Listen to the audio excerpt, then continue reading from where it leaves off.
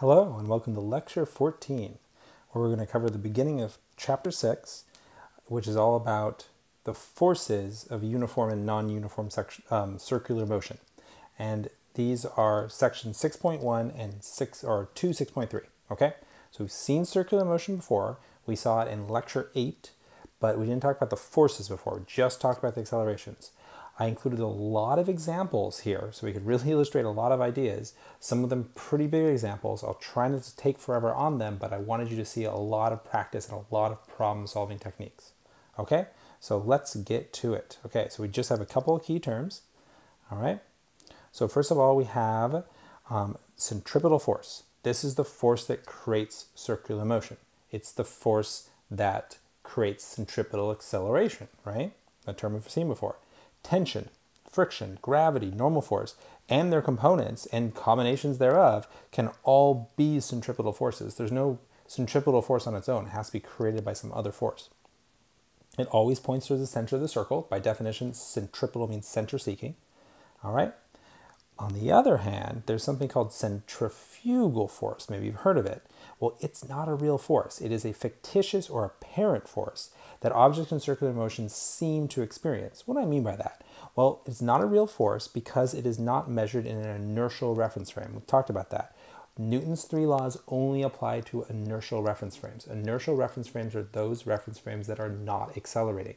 In other words, reference frames that are moving at constant velocity or at rest. Any reference frame that is accelerating is a non-inertial reference frame and Newton's laws cannot be applied because if they are, then you end up with fictitious forces. And if you don't know they're fictitious, that's misleading.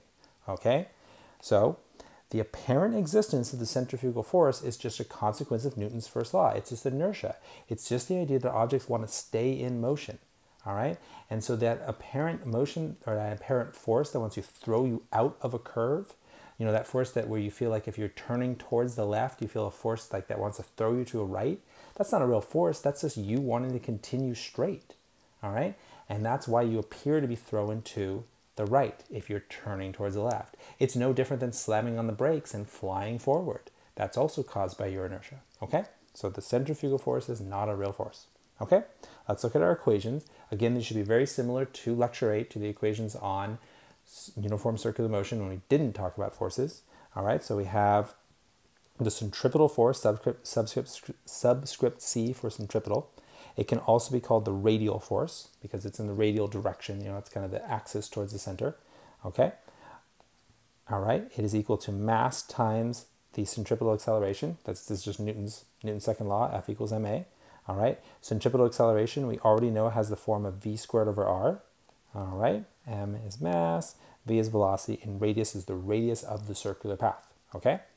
All right, and we've seen this these ideas before. This is t for period, all right, and then f is the frequency of the circular revolutions per second.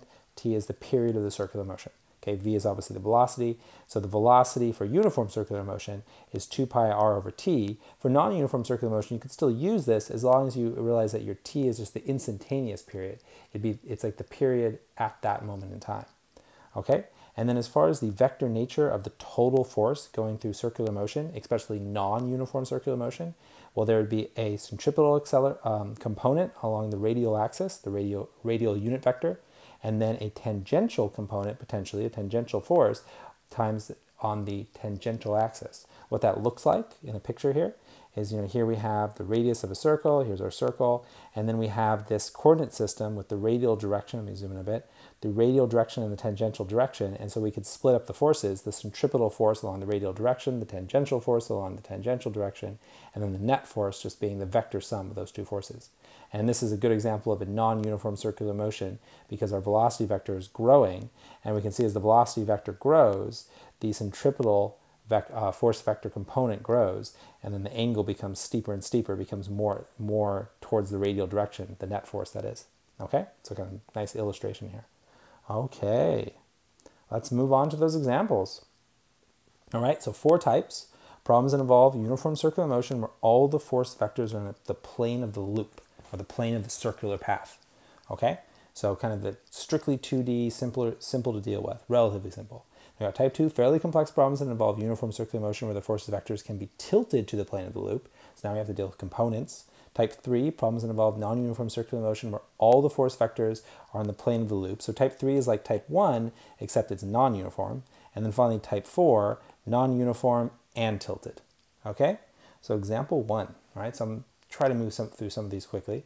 Um, in this case, it's a 2D case. Someone's swinging something. We're given the mass of the object, okay? We're given the radius, and then we're asked to find the tension, okay? So first we want to find the velocity of the ball because we weren't given the velocity, notice, but we were given um, something about the rotation. It's the um, a constant rate of rotation, yeah, four complete rotations per second. So we're given the frequency. So based on the frequency, we can just take, we can find 2 pi r over the period. The period has to be a quarter of a second if you're making four revolutions per second, and that gives us a velocity of 19.4 meters per second. And since this is a planar type problem, we're actually going to, assuming that the string is rigid. Because the string wasn't rigid, it'd be it'd have to be some tilt to it, which means that you know, kind of if you imagine like this, would be tilted down, which then there would be a gravitational force and a tension force, and we'd have to deal with components. And we actually have a problem like that. So this is a simpler problem. You could also think of it maybe as that the ball is restricted to spinning on a table or something, but regardless, it's entirely 2D. And so then it's simply a matter of saying that the net the net forces in the radial direction is just the centripetal force equal to MAC, and that centripetal force is has to be the tension force. Here it's labeled as FC, but it, it is the tension. So then we, if we solve for the tension, it's just m times centripetal acceleration, or m times v squared over r. Plug in our numbers, and we get 657 newtons. Quite a bit of force actually, but we are spinning it quite quickly. Okay? All right, concept question. Just thinking about how tension changes as a function of radius and mass. Here we're holding the velocity constant in four cases. All right, so let's consider case one. I'll call that T1. All right, this is for tension, not period, by the way, because that's we're comparing tensions. So T1, we got mass and R. Okay, so that's just the value. Kind of consider that like a placeholder and compare the other three to it. So then T2, the only difference is that the radius is twice as long, which means that T2, the tension is one half as much. So increasing the length decreases the tension. Okay, well here we're doing double the mass, which means that T3 is actually twice the, um, the original tension, T1. Well, what about number four? Well, here we double both of them, but then the effect cancels out. So we have a 2 and a 2, which means it's just equal to the tension in case 1. So if we order them from least or largest to smallest, then we have 3, 1 and 4 are tied, and then our smallest is 2. Okay? So just a quick idea about how the tensions are related. Okay, so another just strictly 2D problem, all the motion in the plane of the loop. But this one we're going up against gravity, we're spinning something upside down. And the idea is that we need to spin it just fast enough for some forces to zero out. Um, this, this is an idea we're going to see more when we talk about energy and loop-the-loops and, and maybe pendulums swinging all the way up over the top or swing swinging all the way over the top or you know a bucket of water like this okay but but we here we're not talking about the energy but still we're laying the groundwork for further discussion so a bucket of water is swung in a vertical circle so the bucket travels upside down but the water does not spill. In this case the string has a known length 1.6 the bucket we're given its mass and the water we're given its mass as well. So we would have the total mass if we sum the two right? The speed of the bucket at the top is constant okay? So um, you know, it's uniform circular motion at least at the top. So that's what we care about. What is the minimum speed the bucket must be traveling at the top of the swing um, in order for the water not to spill? Okay, interesting question. How will we deal with that? Well, here's our force diagram, okay? So here we, we, can, we consider that if the bucket is completely vertical at the top of the swing, there's gravity pointing down for sure, and then we'll propose that there's some normal force, okay? So here we'd set up our sum of forces in the y direction, positive y downwards, or, or otherwise known as the radial direction, because it'd be towards the center, right? Okay, and that'd have to be equal to MAC, right? Also pointing downwards, because centripetal acceleration points towards the center. Okay, and just then we'll elaborate on that. G are the gravitational force is mg, and a is just v squared over l because l is our radius. Okay, but here's the thing: if we want to find v minimum in order to get all the way through the top with the water out with with the water not spilling, then we actually want the normal force to be zero. That would be the case for the minimum velocity because any any velocity greater than that would create a normal force. So if we want just enough normal force for it not to spill, then that would be our V min. The way I think about it is that when you spin it just fast enough for it not to spin, not to spill, thus creating a normal force of zero, the, you mean, what that means is that the gravitational force is sufficient entirely to be the centripetal force. You don't need any excess force to be the, the, um, the centripetal force, okay? And that's it. You're just, if, if the gravity exactly equals the centripetal force, that's your minimum velocity case. All right, so then we find out that minimum velocity is just the root, root LG, all right, or root, root LR, right, however you want to think about it. Um, excuse me, RG, because, you know, you think of L as being R in many cases, the radius. Plug in our numbers, and it turns out to be 3.96 meters per second for these particular numbers, okay? And now part B, right, what is the tension in the string when this minimum speed is achieved? Well, it should be zero, right? So because we're spinning it just fast enough for there to be no normal force, but there's nothing special about the normal force versus the tension force. Because in other words, at the very top, it's momentarily weightless. It's momentarily weightless because the gravity, again, is entirely just doing the job of centripetal force. I guess even another way of thinking about it is if you're spinning it just fast enough for it to be momentarily weightless at the top, what's happening then is it, that the gravity isn't accelerating it downwards. The gravity is just turning it right? Because acceleration can turn things. In this case, the acceleration is, is applying just enough, gravitational acceleration, just enough acceleration to turn it in a circle at that moment in time. Okay, so the tension should be zero, but let's prove it. Okay, so here's a diagram focused on the total mass of the bucket and water, gravity and tension. Okay, now we, you know, we hope to start that zero, but we're proposing that it could exist. All right, let's plug in our values. Okay, so we just have mass times gravity, Ft, right, just sitting there, that will solve for it and then mass total, because this is water plus bucket. All right, and then we got our centripetal acceleration. Right, look what I'm going to do. I'm going to plug in the symbolic form for the minimum velocity, because we know it has to be equal to root LG.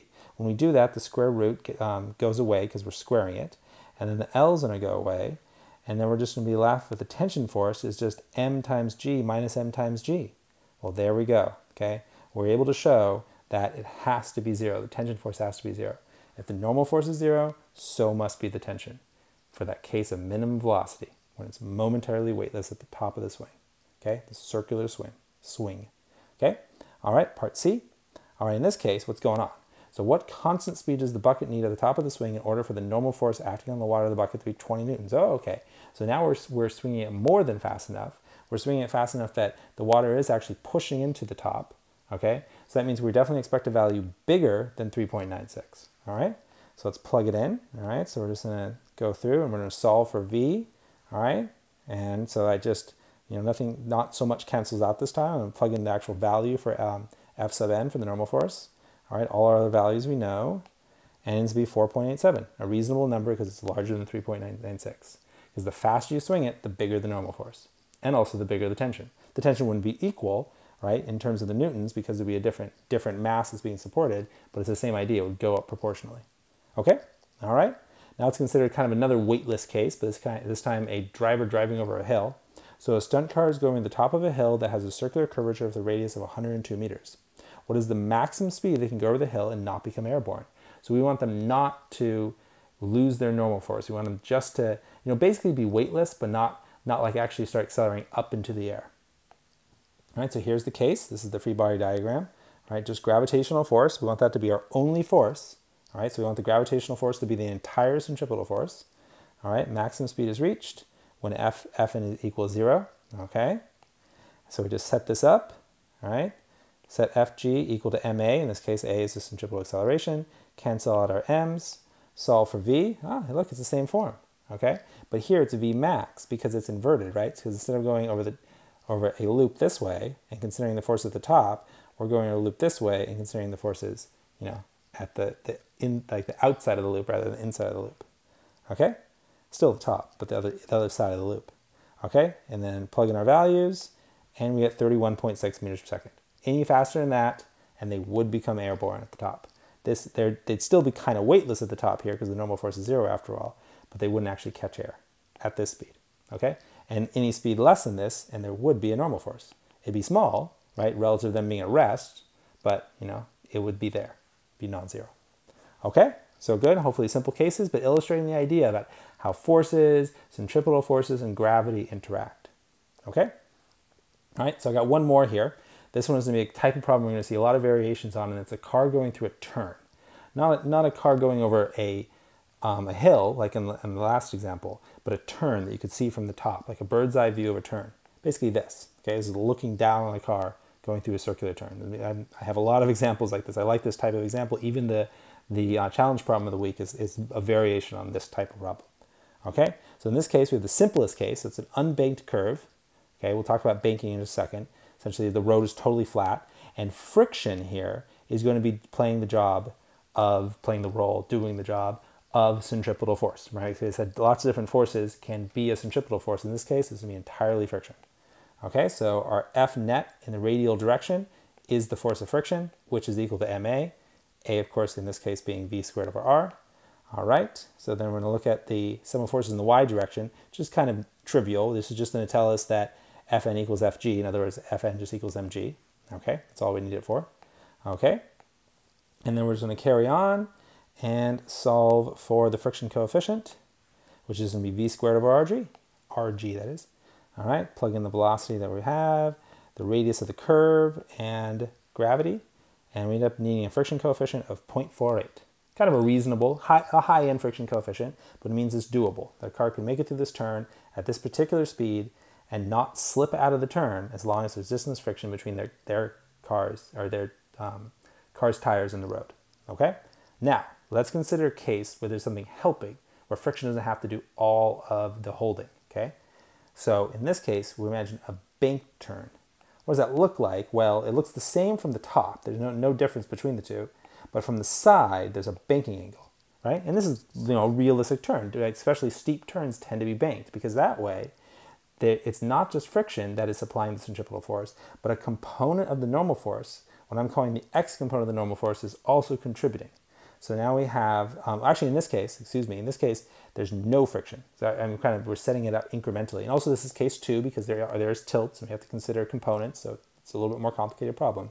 But we're not, we haven't introduced friction into, into the situation yet. We're just, we're doing one at a time. This one, the example four was all friction. Example five is all banking. Okay, so this is like totally icy road and the banking is, is, is doing it completely, okay?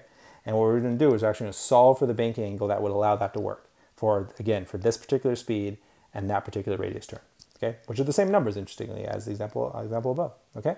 So, all right, so this, this component of the normal force is, is our entire centripetal force, all right?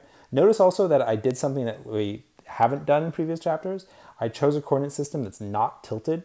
You know, like it's usually a really good idea to choose a co coordinate system that's tilted with the, um, the incline so you can save yourself work on components. In that case, your normal force wouldn't have components.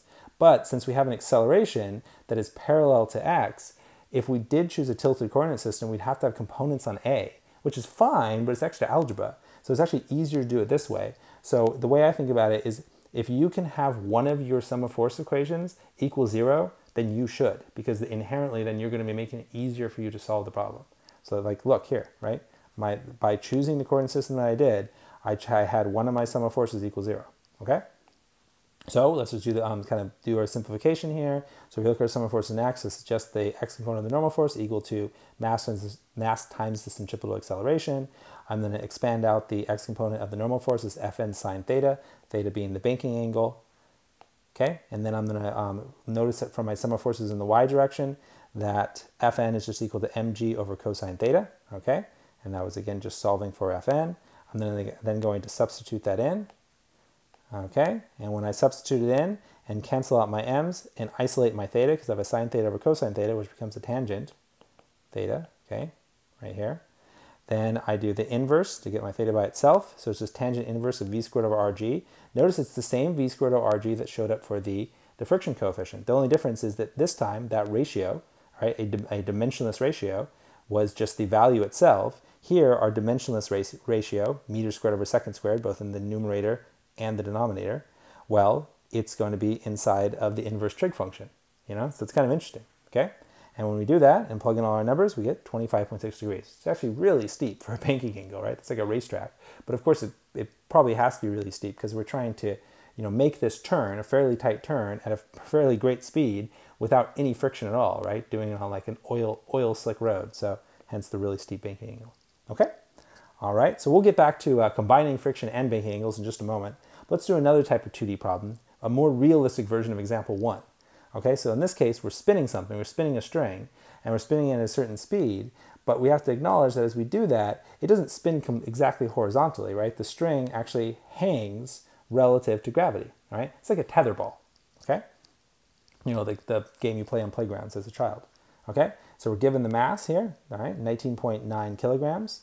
Um, we're given the length of the cord, 2.17 meters, and it's spun at a rate of 30 RPM, and we're actually going to solve for the angle. Okay, we could solve for any number of things. We could have been given the angle and solved for L, or given the angle and solved for V, you know, so, but in this case, I'm actually asking you to solve for the angle based on that information. What must be the angle for this particular case? And we, we're given V, but we have to work for it because we can find V based on um, the RPM, okay? But I'm going to kind of actually substitute it in and never find it explicitly, but rather just kind of like follow the variables. Um, the other thing I'll, I'll, say is that sometimes it's called a conical pendulum. I think that's a term your book uses as well. Okay, so let's set up our free body diagram. We have a coordinate system, x and y.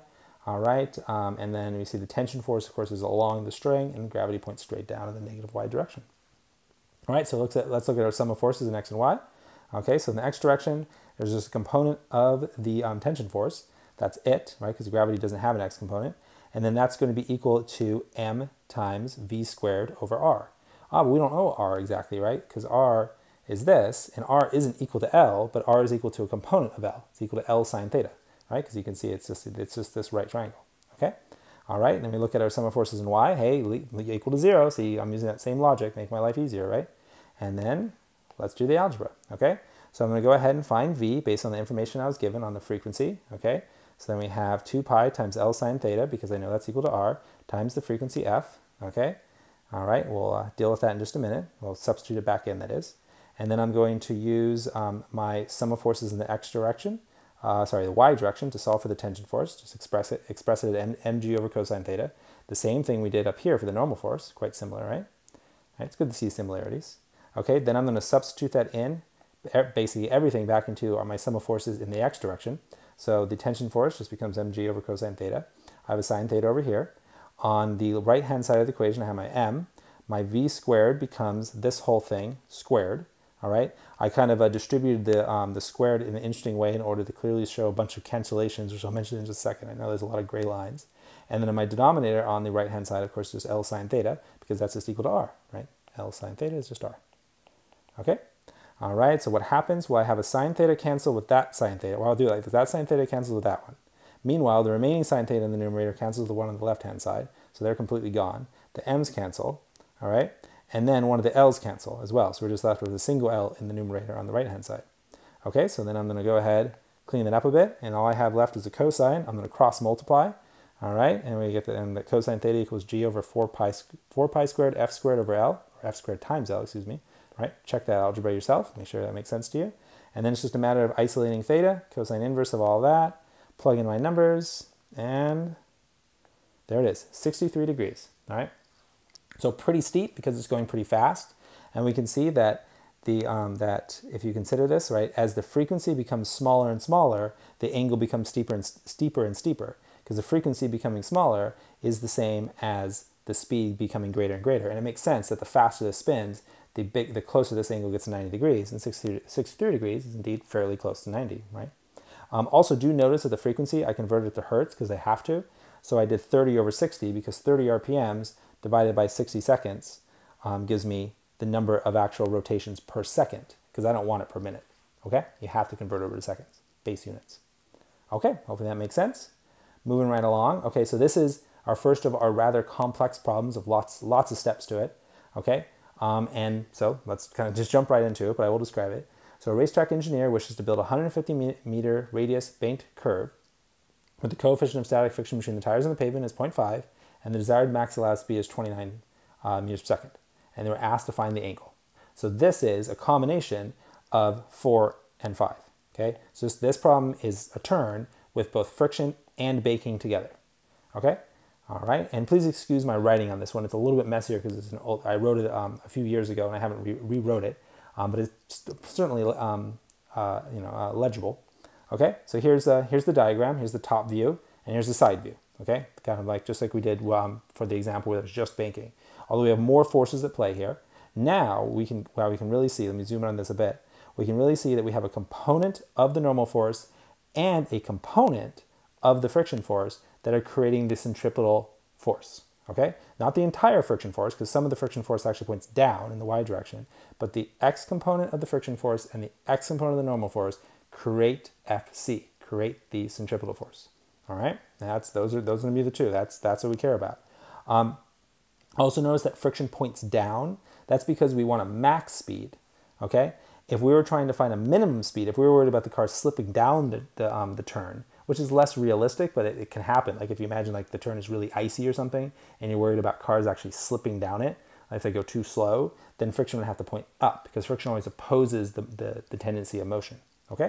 And notice our non-tilted coordinate, um, coordinate system, and the, the, the center of the curvature is this way, just you know as shown here, it's the radius. All right, let's just get right into the sum of forces and how we actually solve this algebraically. All right, so we have our sum of forces in x and y. Here it's just written um, just in terms of all you know the, the variables, or rather the components, right? Not really expanding them out, not, not nothing with the theta yet. All right, but here I'm actually going to write them all in terms of the banking angle theta. All right, for example, fnx becomes fn sine theta. I won't describe every single one of these. I'm also color coding them. So I'm calling one of them the blue equation and the green equation just for um, clarity of following them through the algebra. All right, also by definition, the friction force is mu s fn. Um, and then we can solve for fn from the sum of forces in the y direction. Notice I'm using the summation notation, which I don't usually use, and where sum of forces is just the same as writing f net. This is my more preferred notation, but you know, here I'm obviously using the, the other, the other type. Okay, so then I'm just going to um, go ahead and solve for Fn from the sum of forces in y. All right, so I've just kind of factored it out, and again, there it is, okay? So that's my green equation because like this is Fn from this equation, okay? So notice I did that, right? I solved for the normal force from one of my two equations. And also notice again, I chose a coordinate system where one of my equations equals zero you know, making my life a little bit easier. Okay. Now, now look at this next step. It's actually a good strategy of solving these. Then there's, there's more than one way to do them, but a lot of ways are going to be prone to error and you just spending too much time on the algebra. Okay. So now I'm going to rewrite the sum of forces in x and solve for fn again. Because if I solve for fn from the blue equation, the sum of forces in the x direction, then I'll have, and you know, to have fn, then I can set those two fn's equal to each other, effectively canceling out fn, right? Okay. All right. So I'm to go, this is just me um, isolating Fn from the sum of forces in the x direction. And there we go. Okay. So I have two, express, um, two expressions for the normal force. Okay. And now, here we go. I set them equal to each other. And that's what we get. Okay. The green from y and the blue from x. Okay. That looks fine. And wait, what was I solving for again? Theta. Oh, well, that's not great, right? Because I mean, I got a theta here, a cosine theta, I got a sine theta. How am I actually going to isolate theta, right? It looks like a dead end. It's not really, okay? Don't get discouraged. Just start trying to, you know, clean it up, see if you how um, the trig functions work out. So that's all I'm going to do is I'm going to bring all my trig functions to one side and see, you know, what I what happens when I find a common denominator. I'm going to multiply the top and the bottom by cosine theta in order to find a common denominator. And notice what happens. All of a sudden, I just start getting tangents. Okay, well, look at that. Actually, it looks like I'm going to be able to get tangent all by itself. And I'm continuing to do that. I move things around. Again, excuse the handwriting, it's a little messy here. And I factor out a tangent all by itself. And there we go. I can finally, since I have a tangent all by itself, I can then actually solve for theta as a tangent inverse of this whole business inside. I won't try to explain the trend based on that. It's there if you look for it, but it's rather complicated. Plug into the numbers for this particular problem, and it's 3.2 degrees. Not nearly as steep, although these weren't the same velocities either, but not nearly as steep because friction allowed for the, um, it, you know, it basically you had friction and a component of, well, component of friction and a component of the normal force both working together in order to hold the car on the track. Okay, you didn't need one to do all the work, right? And again, not actual work, but you know, do all of the holding in place. Okay, so hopefully that makes sense. I know it's a lot of algebra, but I, you know, hopefully I called attention to the key ideas, the process, so that you can solve it for yourself. Okay, so a couple more. All right, here's a pendulum. So um, pendulums are great, a great example of non-constant acceleration. We'll actually, this is really just the beginning of working with pendulums. We're going to do a lot of a lot with pendulums once we talk about conservation of energy, and then even more of pendulums once we actually talk about rotational motion. You might be like, wait, aren't we talking about rotational motion right now? Well, okay, we're talking about rotational motion by just focusing, focusing on the translational parts, right? We're only talking about velocity and acceleration. It turns out there's a whole nother way of talking about it when we talk about the movement relative to the pivot rather than the movement through X and Y. Um, so it's a, it's a whole nother approach. It's, it's beautiful and amazing, and it's going to really bring pendulums back up to the forefront of the class, okay? So I, br- I mentioned that because it's, we're going to, this is really the beginning of a, a long journey with pendulums. But already we can do quite a, quite a bit with them, right? So it's nice actually to be already doing that. So a pendulum um, is mid-swing as shown with a bob, which is just this thing, of mass 3.6 kilograms, mass of string of 84.3 centimeters. That's like L. All right, um, it's got, it's 13.1 um, centimeters above the ground. I'll draw that in the picture. Essentially, it's 13.1 centimeters above its low point. Um, and it's got a speed at this particular moment in time of 4.12 meters per second. And the question in the, this part A is what's the tension?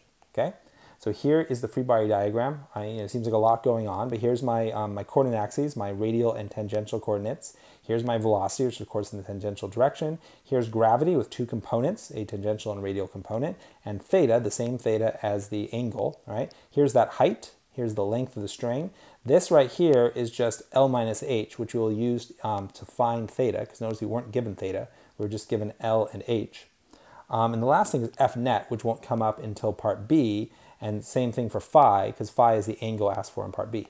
Okay, so first of all, we're going to find theta based on this right triangle right here. All right, so cosine theta is L minus H over L. Go ahead and find theta, and it's 32.4 degrees. All right, great. Then we're going to set up a um, sum of forces in the R and T directions. Notice one thing. You know how I said we always want to have one of our two forces or one of our two force equations equal to zero? Well, that doesn't work for non-uniform motion. Notice the color of the problems have changed because we're in type 3 now. Now that we're in non-uniform circular motion, we're always going to have acceleration. The good thing is that tangential acceleration is usually pretty straightforward.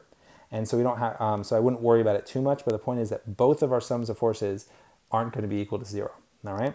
One is equal to MAT, the other one is equal to MAC, and AC just takes the form of V squared over L.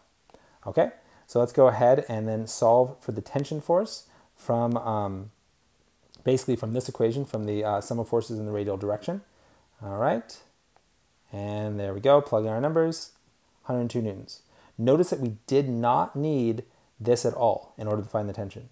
The tension was independent of what I was happening in the tangential direction. That makes sense because the tension, after all, is entirely in the radial direction.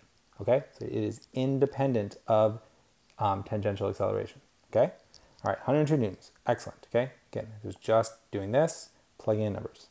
Okay, all right, so in part B, I asked what angle does the net force on the bob make with the radial direction? Okay, well now I'm gonna, I am going to go ahead and actually need um, this acceleration as well, okay? And so then I'm gonna look, I'm gonna say, okay, well in the radial direction, it's ft minus fgr, it's just this, okay? In the tangential direction, it's just that, okay? So I'm just writing them out symbolically, or at least without the angle yet. Let's then rewrite them showing the angle. All right, well, actually, first of all, let's just go ahead and acknowledge that phi is just going to be opposite over adjacent. So it's just going to be those two components, okay? And then let's plug them in. So then FGT, which is this right here, becomes just mg sine theta, of course, because it's just it's just that component, okay? Sine because it's opposite, okay? And then the um, the radial component of net force, okay, not like a particular force, but net force is just this here. Plug in the numbers, and it's 8.14 degrees, right? So phi is quite a small angle because it's telling us that most of the force is the tension, and this component of the gravitational force is actually quite small. Okay? All right, hopefully that makes sense. Okay, so two final examples. Here I have a car um, weighing 1,000 kilograms that's traveling around a turn. Okay, the car enters the turn with an initial translational velocity.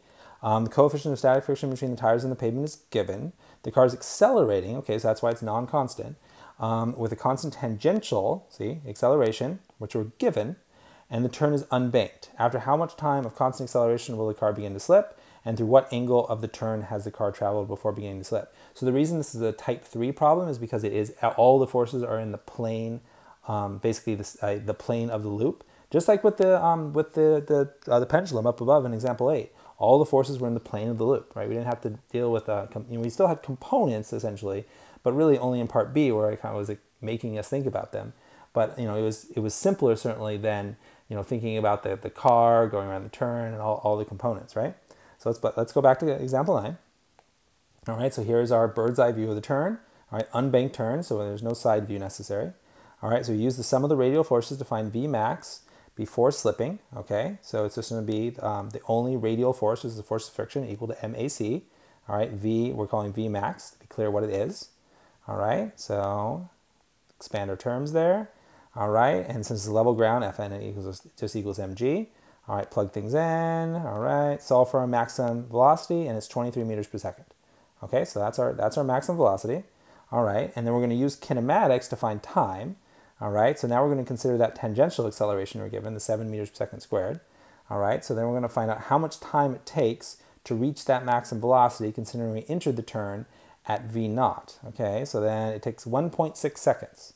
Okay, so the question was, uh, how much time uh, constant acceleration of the car until the car begins to slip? Well, 1.6 seconds. All right, that's that's how long it would take because that's how long it takes to go from 12 to 23 at that with this particular tangential acceleration, which is a large one. Right, the car's speeding up quite rapidly. So in less than two seconds, the car will begin to slip. It will, it, it's not going to slip up the embankment because there isn't one. It's just going to slip out of the turn. It's going to start losing control on the flat road. Okay, in part B, we're asked through what angle of the turn has the car traveled before beginning to slip. Well, since we're given the radius, we can kind of find like the arc length, find the portion of the circumference of the circle that's covered. So we just kind of set, we first of all just find the distance, 21 meters, and then we're going to use a ratio, basically that, zoom in a bit on this, so 360 degrees is to the circumference as some angle theta is to the distance that we found using kinematics. So we just then solve for that angle, and it is 9.9 degrees. So again, not just a really kind of small fraction of the turn. I mean, not that we're told how long the turn is, but just a pretty small angle before it starts to slip. Because uh, I'd say the car is uh, speeding up too fast, right? Kind of an un uncontrollable uh, acceleration in this particular turn, right? At least considering it's an unbanked turn. Okay, so now our final example, a car with acceleration in a turn that has banking, all right? Example 10. So I've already kind of, um, I already put in our views here. We have a top view, we have a side view, and we have a front view. Okay, why so many views? Well, the top view is going to show the radius and kind of show some of the forces. All right, um, it's going to you know show the arc. But the idea is that this particular turn, the or in other words, the acceleration. Because before we were just given an acceleration. In example nine, we we're just given the tangential acceleration. Here, the tangential acceleration is going to be created from gravity, hence the side view. So in other words, this turn is changing elevation. So why not? The elevation at the beginning of the turn, you can think of it at the peak of the banking, is not equal to y, the peak of the banking at the end of the turn. Furthermore, we need a front view because the turn is banked, as we can see kind of from this perspective top view. Okay? And this is very much similar to the quiz. The only thing is in the quiz also includes the drag force. All right, and we'll talk about the drag force in lecture 15, which is the only other topic in this chapter okay, in chapter 6. All right, so let's wrap this up, right? So we got a car, 1110 kilograms, enters a banked turn with a banking angle 11.1 degrees, that's that angle there, um, and a radius of 300 meters, that's that r, all right? The initial speed is 30 meters per second, that's that v right there, all right? The coefficient of static friction between the car's wheels and the pavement is mu s equals 0.0881, okay? So that would be um, the mu that creates that friction force. Notice that's a really tiny friction force. That, so that means we're going to be worried about the car slipping down this way, which is why the friction force is shown to point up the embankment. The turn covers, covers a total of 100, 145 degrees. That's that angle right there, phi. The turn is uphill with a slope of 13 degrees. That's our angle alpha. Okay, so notice we have an angle theta, the banking angle. We have a hill angle of, uh, of, of alpha, and then we have a turn arc of phi. Okay? All right, keeping it all straight. So if the car's engine stop at the moment it enters the turn and, um, oh, well, so it should say, uh, will the car begin to slip down the, bank, the banked turn before exiting the turn at the top of the hill? Okay, so the question is, will the car slow down so much since it's going while going uphill that it eventually starts to slip down? Okay, well, let's see. So the first thing we need to do is find, using the forces, find the minimum velocity before slipping down banking occurs. So before we even consider the tangential acceleration that's being created from that component of gravity, notice it's just FG tan that we're going to worry about. FG normal does nothing, okay? Well, then before we even consider that, let's go ahead and first find the V min based on this diagram here. Okay, so we're just to set up Fnet x. That's going to be this one here, okay? And then we're going to set up Fnet y. Notice since um, x and y, neither of them deal with the tangential direction, we can have one of them be zero, all right? So that's good. All right, so then we're going to actually use a really similar technique as we um, did for the problem with the engineer that was designing the road and solving for theta. In other words, we're to solve for fn from both equations, from f net x and f net y.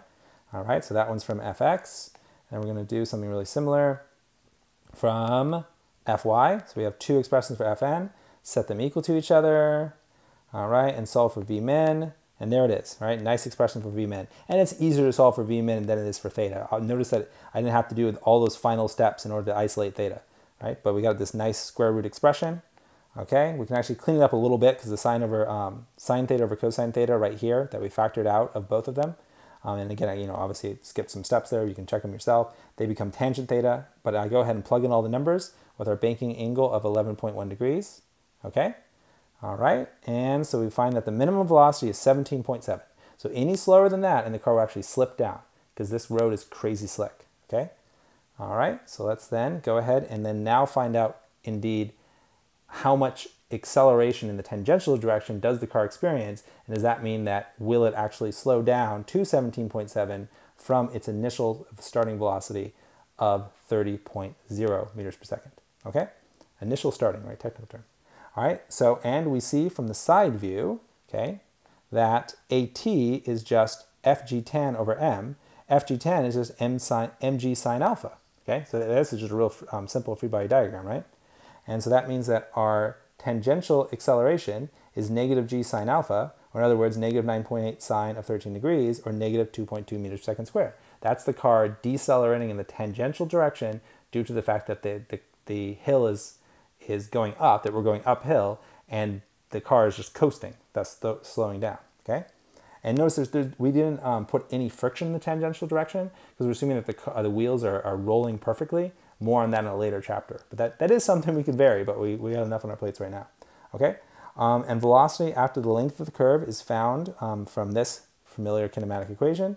All right, and our total arc length, our S, for the entire turn is 759 meters. That's based on the radius and the fact that it's a 145 degree turn. All right, so we'll plug that in and solve for V final. All right, so we'll just plug that into our square root by you know taking the square root of both sides and we don't even get a real solution. Wait, what does that mean? Did I make a mistake? No. That just means that it, it does slip because the fact that there's no solution means that the car comes to, comes to a stop before he makes it to the turn. So not only do we slow down to 17.7 meters per second, sufficiently slow to slip down the embankment, the car actually comes to a complete rest. Well, it actually wouldn't. It would slow down to 17.7 and start to slip and then crash. But the point is it definitely slips and it doesn't make it around the turn. The hill was too steep, way too steep. I could have probably used better uh, better values and maybe made it less than less than 13 degrees sleep. That's pretty steep for a hill, right? It could have made like three three degrees maybe, right? But anyway, the idea is sound. Hopefully, makes sense, and I hope this has been a a good introduction to forces for circular motion, non-uniform and uniform. Thank you so much for watching the video.